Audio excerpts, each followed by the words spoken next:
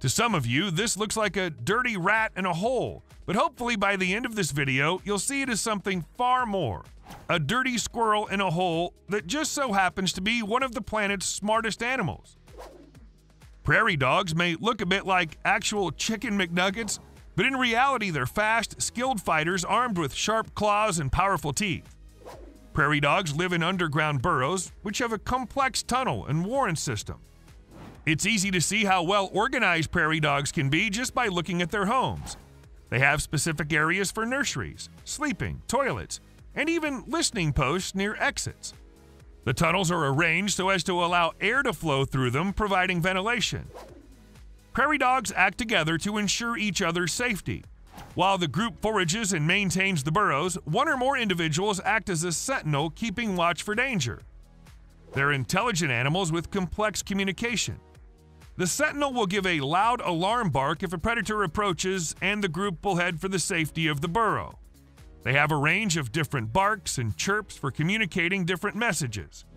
They have specific calls for specific predators, and even have a specific alarm call for humans with a gun. To a human ear, prairie dogs' squeaky calls sound simple and repetitive.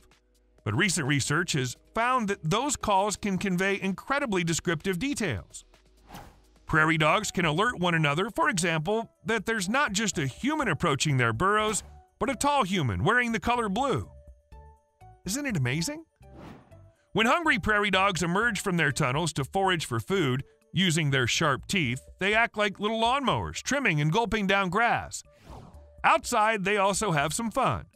Prairie dog pups enjoy romping about their burrows. Talk about party animals. With their short limbs and short ears, prairie dogs are quite sweet looking. The young ones generally have cute, playful natures. Prairie dogs appear to kiss when they come and go in the area around their burrow. Researchers call this behavior a greet kiss. When they do so, they'll touch noses and lock their teeth with one another, which allows them to determine if they're members of the same family group. If they belong to the same family, they continue with their day.